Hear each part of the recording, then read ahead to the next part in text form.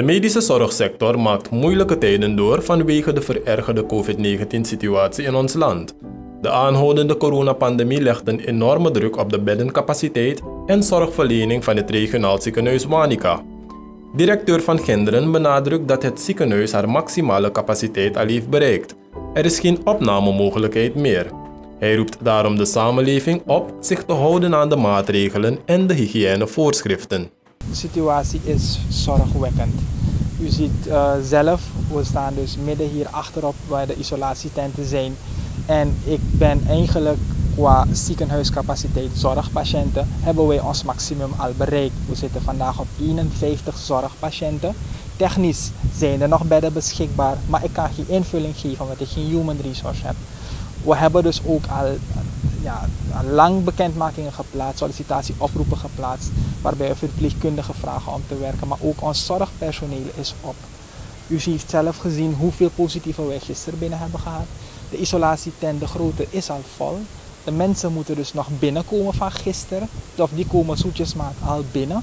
En dat zit ook met tweede isolatietent al vol. We hebben als ziekenhuis de maximale capaciteit bereikt. Er is geen opnamemogelijkheid meer. De situatie is zeer, zeer zorgwekkend. Het personeel is moe. Het personeel werkt over. Je gaat dan ook ziekmeldingen krijgen. Mensen die aan een burn-out zitten.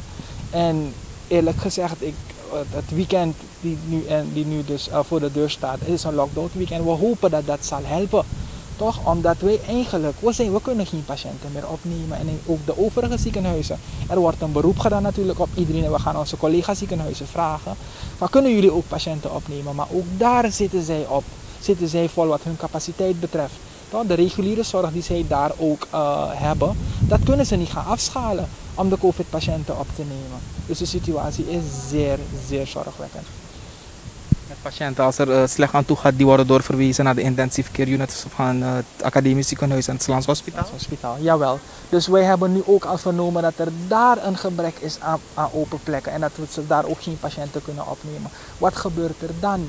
Dus daarom zeg ik het, volgens mij heeft de voorzitter van het NZR al een statement uitgebracht over hoe zorgwekkend deze situatie is en dat we er echt geen andere kant meer op kunnen als ziekenhuis. Nou kijk, um, dit is niet de situatie waarin wij als, ziekenhuis willen zijn en ik denk ook niemand in, uh, in Suriname, ook de samenleving. Um, het zal zelfs soms, het, het kan zo ver komen dat je geliefde zorg nodig heeft en we dat niet kunnen bieden. Toch? En gelooft u me, het personeel, de directies van de verschillende ziekenhuizen weten ook niet welke kant ze op moeten gaan. Toch, ze kunnen geen nee zeggen natuurlijk, maar ze kunnen ook niet overwerken en vermoeid raken. Want ook dan ga je die, die kwaliteit van de zorg gaat achteruit. Toch, als, je met, als je elke dag als je dubbele shiften moet maken en ook nog de patiënten moet gaan monitoren toch, dan gaat de kwaliteit van de zorg achteruit en dan ga je brokken maken. En dat is wat je niet wil als, als organisatie, als ziekenhuis. Totdat er fouten worden gemaakt. Dus kunnen wij nu geen andere kant op. Dus we doen dringend op op de samenleving om zich te houden aan de maatregelen. Toch, als er een lockdown in effect is, blijf thuis. Hou afstand, mondkap op, handen wassen. Toch, dit is echt, we kunnen dit alleen aan gezamenlijk. Zo zijn we de overige golven um, hebben, zijn we dus tegengegaan en zijn we eruit gekomen. We moeten hieruit komen, want anders gaat het echt slecht aflopen met, ja, met ons allemaal. Directeur, toch wel een, uh, een, een, een, vraag. We hopen niet dat het zo is, maar als de, cijfers blijven, als de cijfers blijven stijgen, hoe durft u die beeld te schetsen voor het Wanika ziekenhuis? Nou, kijk, we hoeven niet ver te kijken. We kunnen kijken wat er gebeurt in ons buurland toch? Waarbij de specialisten en artsen gaan moeten kijken wie is te redden en wie niet.